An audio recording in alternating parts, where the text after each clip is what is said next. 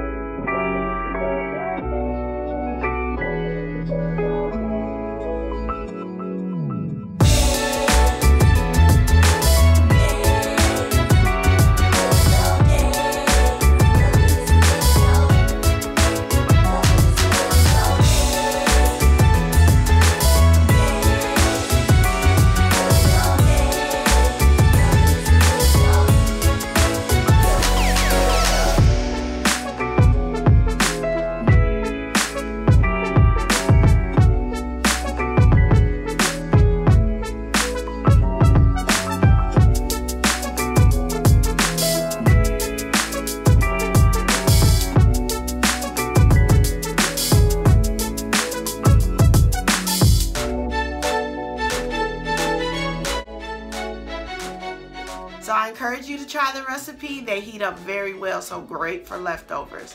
Thanks for watching.